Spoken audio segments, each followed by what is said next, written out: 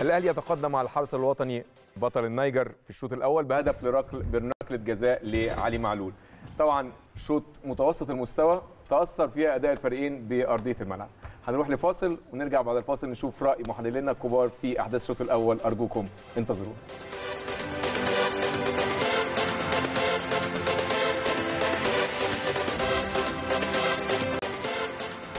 بنرحب بيكم مرة ثانية أعزائي المشاهدين. كابتن شريف شوط أول تفوق فيه النادي الأهلي بهدف بأقل مجهود. آه الحمد لله. إحنا كنا كل اللي بنتمناه إن قلت لك يبقى عنده سبق التهديف وضربه جزاء. آه علي معلول تصدى ليها بطريقة كويسة جدا. رغم آه سوء أرضية النجيلة اللي هي موجودة صحيح. في الأرض شكلا طبعا شكلها كويس بس هي آه صعب قوي إن اللعيبة بيحاولوا إن هم زي ما إحنا بنطلب يمشوا الكورة ويمسكوها وجام مش عارفين يعني. بيبقى في اشتراك جامد جدا بينهم وبين اللعيبة الثانية فبيضطروا يعملوا الكورة العالية الطويلة اللي هي أحرزت يعني جبنا منها هدف اللي هو ضربة الجزاء يعني. جالنا كذا كورة بنوصل بيها من على الأطراف بعدين بنخش في العمق.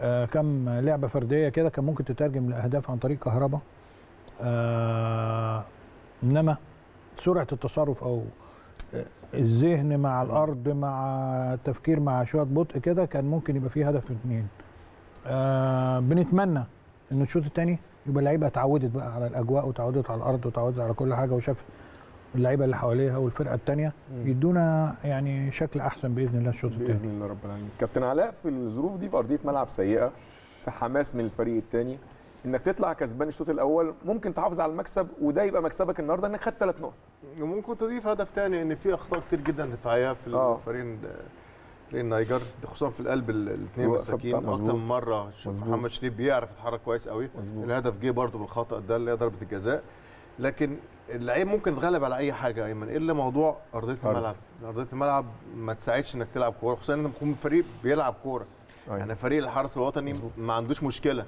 بيعمل باص الثاني بيلعب الكره الطويلة. آه ما تبقاش خطر وكده لكن لازم ناخد لازم يبقى في آه، تقارب. الخطوط كويس قوي طبعا. لكن النادي الأهلي متأثر بأرضية الملعب مش طريقة لعبه. أيوه. فبيضطر بنعمل بالظبط لمسة والثانيه وبنعمل الكرة الطويلة محمد شريف اللي ممكن على فكرة تكسب منها النهارده. محمد شريف بيعرف يتحرك كويس قوي لكن هي عايزة بس ال- توقيت. التوقيت. صح. التوقيت بس يبقى صح لأن بتفرق بالظبط يعني جزء. جزء من الثانية لكن مظبوط. أعتقد محمد شريف ممكن النهارده يخلص لك المباراه إن شاء الله بهدف ثاني وتبقى نتيجة طبيعية جدا النهارده على سوق سوق الم... سوق أرضية الملعب ودرجة الحرارة النهارده ورطوبة عالية جدا كل اللي بتطلبه زي ما كابتن شريف قال إنك تطلع ترجع بثلاث نقاط وتكسب النهارده مكسب كويس إحنا شايفين النادي الأهلي بيلعب الشوط الأول بأقل مجهود ما. هو لأن يعني ال- ال- ال- الفريق خبرات لعيبته. متواضع جدا خبرات لعيبتك عالية جدا فروقات حتى الجماعية والفردية أنت أكتر لكن مش هتظهر برضو يا ايمن النهارده. ما تنتظرش النهارده. أرضية الملعب هتأثر كتير قوي لكن أنت النهارده كل اللي بتفكر فيه إن شاء الله ترجع بمكسب. مكسب صحيح. كويس. طمنك مباراة العودة إن شاء الله. اللي أعتقد الفروقات كبير جدا جدا جدا مظبوط. النهارده. مظبوط. كابتن أسامة رؤيتك الفنية سريعا لاحداث الشوط الأول.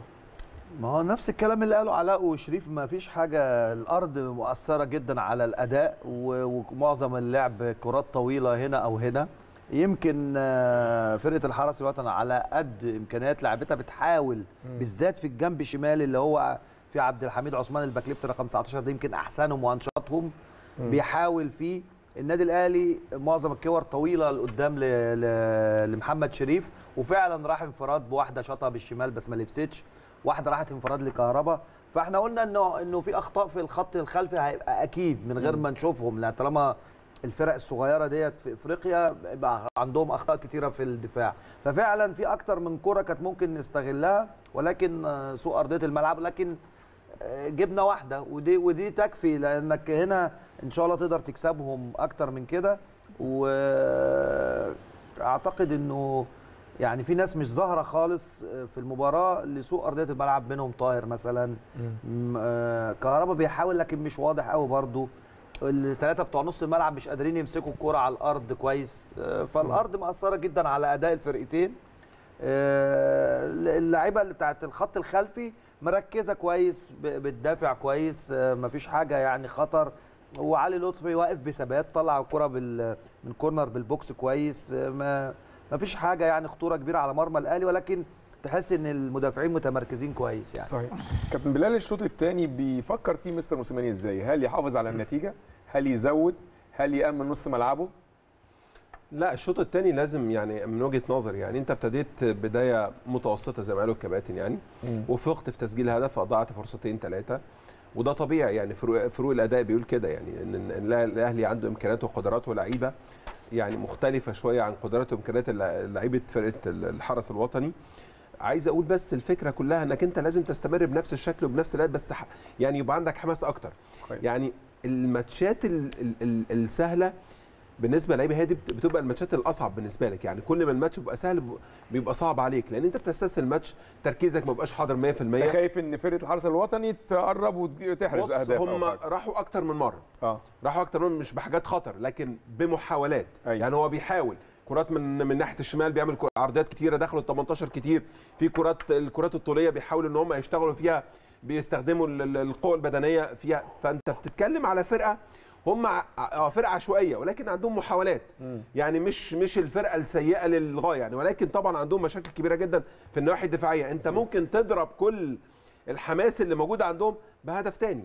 هدف تاني أعتقد المباراة راحت في حتة تانية خالص يعني. راحت كمان معنوية. أنت النهارده عايز تعمل إيه؟ تسجل هدف عشان تحبط فريق النيجر هو النهارده عنده عنده عنده فكرة إنه ممكن يسجل هدف التعادل فيبتدي يدخل في الماتش فعايز يسجل هدف تاني فيبقى عمل game رائع جدا على النادي. هو عارف إنه كده كده ممكن يخرج يعني. هو يعني بفروق الإمكانيات وفروق ال- ال- ال- الإمكان ما بينه وما بين لعيبة النادي الأهلي وعنده لسه مباراة في القاهرة مباراة العودة هتبقى صعبة عليه جدا جدا. لكن إحنا بنتكلم في مباراة النهارده ال 90 دقيقة بتاعت النهارده.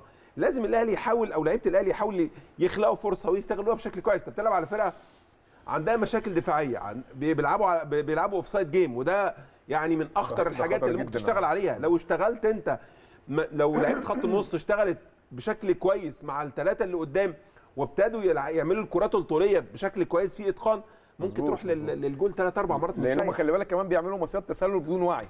من نص الملعب. بالظبط. يعني الكرة اللي اتلعبت لشريف يعني لو تأنى فيها يمكن إحنا حتى كمان في الاستوديو كلنا قلنا لازم تستنى شوية اصبر شوية. عندك مساحة كبيرة جدا تجري فيها وتتحرك فيها وأنت عندك السرعة كمان. يعني عارف الكلام ده ممكن الواحد بطيء شوية فيبتدي مظبوط. يجري بسرعة مظبوط. يستارت بدري شوية. إنما شريف عنده سرعة لازم يبقى عنده ربط في الحتة دي بشكل جيد. عشان يقدر يوصل للجون. يبقى مع مش- ما بيقعش في الأوفسايد ما عندوش مشاكل.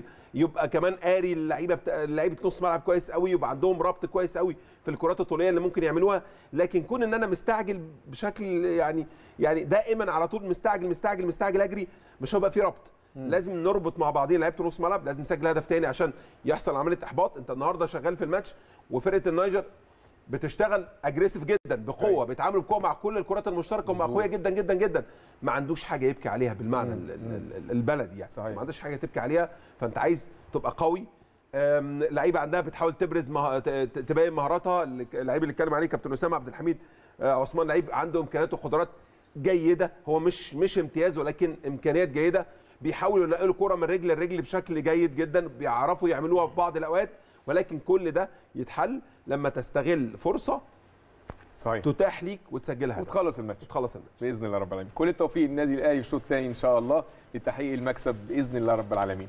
هنروح لفاصل. نرجع لحضراتكم مرة أخرى بعد نهاية أحداث المباراة. أرجوكم انتظرونا.